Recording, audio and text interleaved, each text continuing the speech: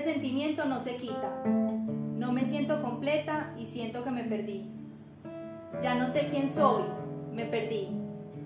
Tantos dramas, tantas mentiras, para evitar situaciones potencialmente dañinas. Tanto compartir, tanto involucrarme demasiado, tanto dejar que se metieran en mi vida perversamente.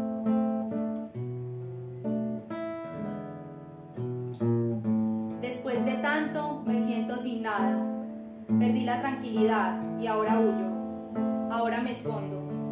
Siento que perdí lugares y personas que creí que me pertenecían, que pertenecían a una cadena de seguros y tranquilizadores instantes.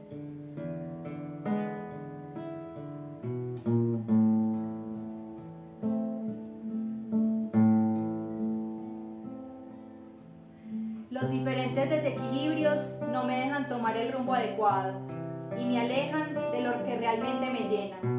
Hay vacíos que no sé cómo llenarlos y busco lo que no se me ha perdido o lo que momentáneamente me hace alegrar.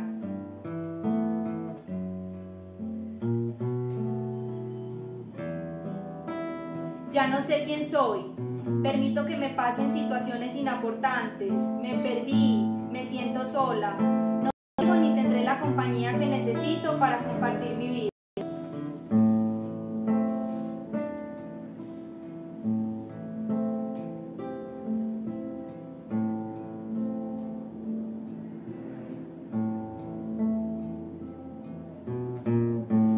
Estoy asustada, tengo miedo y no sé a quién decírselo.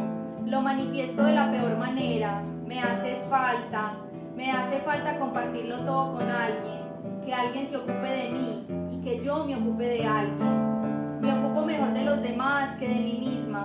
No me siento parte de nada ni de la vida de nadie. Todos tienen sus vidas perfectamente manejadas sin necesidad de mí. Y yo me siento perdida y aislada. A nivel profesional me alejé. Me alejé tanto que me perdí de muchos instantes alentadores y llenos de contenidos para el alma, llenos de contenido para el espíritu, para que el corazón se aliente cada vez.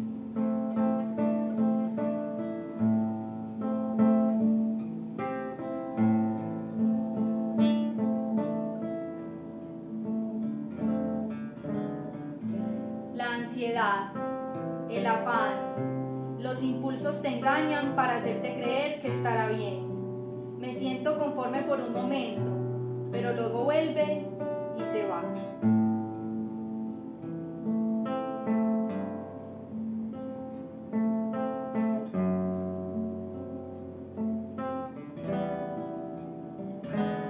Desolada, sin esperanza de nada, me, me veo sin imaginarlo en escenarios que me revuelcan la vida otra vez, encontrando lo perdido por un momento, aunque sea por un momento, que por pasajero que sea, deseo convertirlo en eterno, sentirme como el ayer, imaginarme un futuro.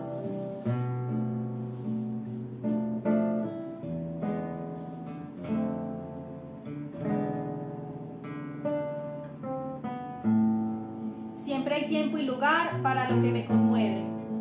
Hay cosas que perduran sobre el tiempo, la distancia y las circunstancias. Me parecía imposible. Estoy enamorada de imposibles. Me alimento de palabras, detalles, voces, sentimientos pasajeros, pero que se repiten inesperadamente, de eventos encantadores. No hay momento para enfrentamientos o trivialidades, solo momentos fascinantes que atesoro y me hipnotizan.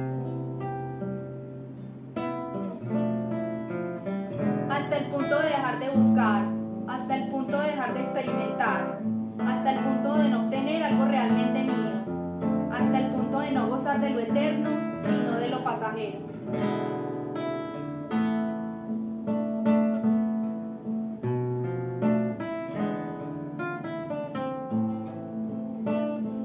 ¿Dónde está esa magia vigorizante? Está allá afuera esperándome, está en mí, está a mi lado y no la veo.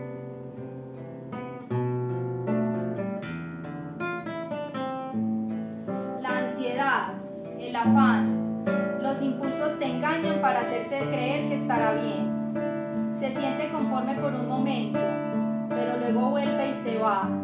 Se va y se va.